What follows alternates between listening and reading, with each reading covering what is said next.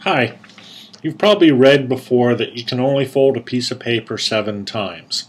Well, in the past, I've actually tried this and done it more than seven times. But of course, who's going to take my word for it? So, here we have undeniably a piece of paper, right?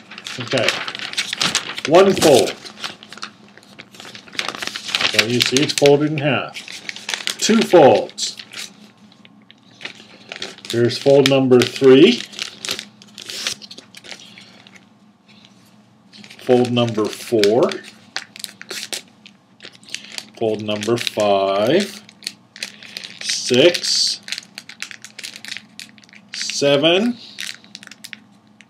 Now, the hardest of all. But here it comes. Let's get that crease in there.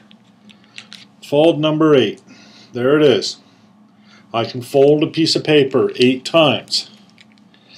It's kind of a tight fit. Nine? Eh, probably not. I'd need thinner paper for that, like rice paper or something. But you can fold paper eight times. Don't believe it when they say you can only fold a piece of paper seven times.